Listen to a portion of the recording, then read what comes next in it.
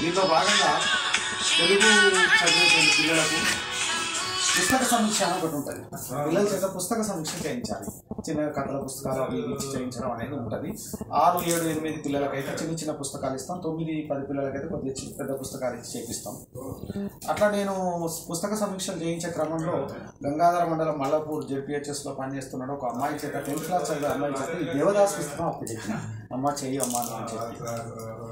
కొంత నేను సహకరిస్తే అమ్మాయి మంచి సమీక్ష రాసింది.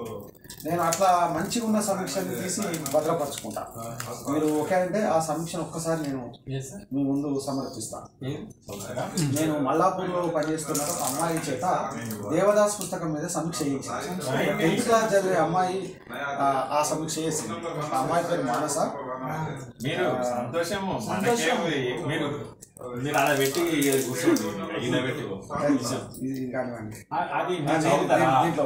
చదవండి. పుస్తకం పేరు అంటే ప్రాథమిక సమాచారం అని ఉంటుంది మొదట.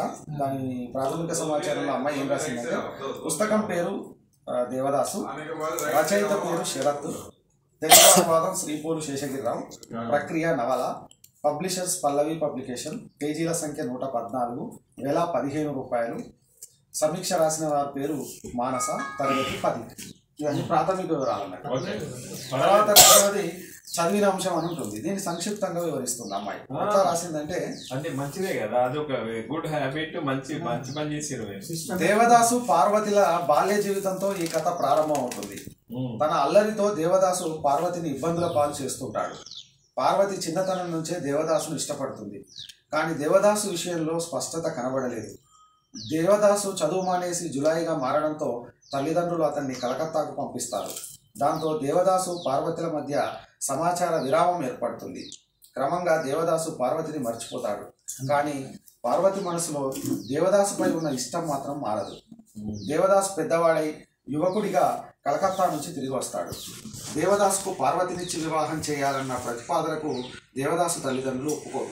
దాంతో పార్వతిని ఓ మధ్య వయస్కుడైనటువంటి జమీందారుకిచ్చి వివాహం చేస్తారు. దేవదాసు మళ్ళా కలకత్తా వెళ్ళి అక్కడ త్రాగుడుకు బానిసవుతాడు ఒక స్నేహితుని ద్వారా చంద్రముఖి అనే వేశ్య పరిచయం అవుతుంది. మరోవైపు పార్వతి తన ఇంట్లో పేదవారికి అనాథలకు దానధర్మాలు చేస్తూ మహనీయురాలవుతుంది ఇంకోవైపు దేవదాసు దేశమంతా తిరుగుతాడు. ఆరోగ్యం క్షీణిస్తుంది. జీవితపు చివరి దశలో దేవదాసు బొంబాయి నుండి పార్వతి ఉన్న ఊరికి బయలుదేరతాడు. ఊరికి చేరుకున్నాక పార్వతిని చూడకుండానే మరణించడంతో కథ ముగుస్తుంది. ఇది ఇట్లా సంక్షిప్తంగా రాసింది. తర్వాత